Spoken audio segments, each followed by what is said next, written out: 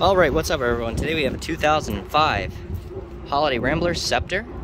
This is a 40 foot coach with some green and uh, kind of gold and I guess you'd call that gold and silver paint um, in between the stripes. Some uh, darker green on the middle stripes here, some lighter green on the other stripes. The paint's in pretty great shape. It does have a little bit of checking in those darker areas.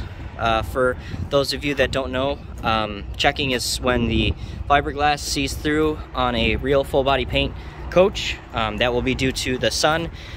And generally you'll see it in the uh, darker areas of the paint as opposed to the lighter areas because the sun will uh, heat that area up uh, more than it would in a lighter area. Um, so that's just one of the issues that we commonly um, on older coaches will run into in Arizona. However, we do uh, get very lucky that we don't have the salt. So um, if it, you have an Arizona coach like this one, you won't run into, you know, the rust um, and those that can be a lot, lot bigger issue than uh, having a little bit of checking or clear coat peeling on the paint because um, those you can always get fixed uh, without an issue. Rust, uh, not so much. It can be a lot more difficult. So we have in the front compartment here your propane tanks, which are usually located in the back of a coach, but on this one, they're the front compartment. You have some storage, uh, one right next to the other there.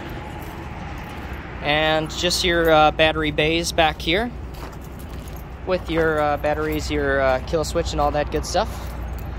You have your motor back here, a 400 Cummins motor. Definitely capable of pulling what you're looking to pull. Whether that be a boat, small car, truck, a trailer. Over on the other side, although we are pretty close to this Class B over here, is the other two slides. The paint on this side is in uh, just as good of shape, if not uh, better. Depending upon where you sit, uh, coach, you know, you can take on more sun than in other spots, or you might have something blocking one side. This looks to be in a little bit better shape than the other side two slides on this side, uh, the uh, back slide being for the bedroom, and then uh, that uh, front slide being for the front living. So three slides in total on this RV.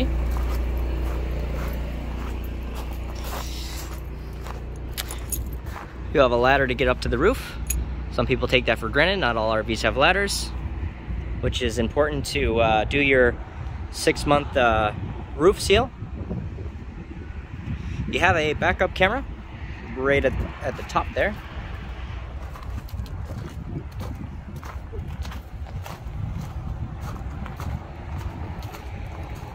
You have, uh, you actually have uh, one awning for the side for outdoors, right on the slide out here. So the full length of that slide, which is about uh, half of the length of the motorhome here, is the awning that you're gonna get.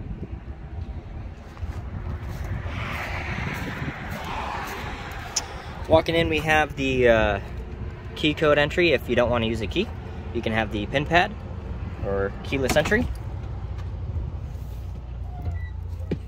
Here are your passenger and front seats.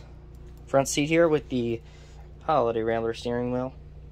Allison transmission in this. This RV has 102,000 miles on it. Right as you walk in, you go from real tile to carpet back to tile, back to carpet. So uh, with these older coaches, you will run into uh, more carpet, uh, I would say, than you would tile. Um, just being that they used to use carpet a lot more than they do now. Um, however, the flooring that they do have is usually, you know, high, higher quality. This is real tile versus uh, some vinyl and uh, just roll down material that they will use in the newer RVs. All real wood in here. Um, you have your kitchen over to the left-hand side, right behind the love chair sofa. You just have some underneath storage that pulls out under there. And uh, here is your kitchen setup. You have a convection microwave, no oven, just some storage uh, there. Um, once in a while you'll run into these uh, kind of cutting board slide out trays that give you some extra room for your kitchen space. It's almost like an extra counter that you can roll in, which is very nice some nice storage under there. Across from that couch, you have another couch. So this does pull out into a queen size bed. if you have guests. You have a dinette back here. It's always a debate whether you want uh, the table and chairs versus the booth dinette. This has got the table and chairs. And um, another thing that it doesn't always uh, come with with the dinette is a shelf that uh, the dinette comes out of where you can, uh, of course, set uh, some things to get out of your way if you're um, at the dinette. Some storage. And um, I want to say you can actually, if I'm not mistaken, which I might be, be able to fold that down so you can almost use that as a small desk. So heading back here, we have our Norcold refrigerator LP right there, kind of the same material uh, used with the wood throughout to match that. Your shower right over to the left hand side with a bench seat.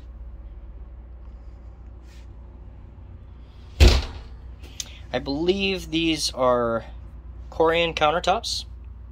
Kind of a blue um, backsplash, and then they did the same with the centerpiece as well. Um, same thing go theme going on with the kitchen. Behind me is your toilet. So with these older coaches, uh, another thing that you'll run into on an older coach versus a newer coach is having a sink both in the bathroom and then having a sink uh, right outside of the bathroom.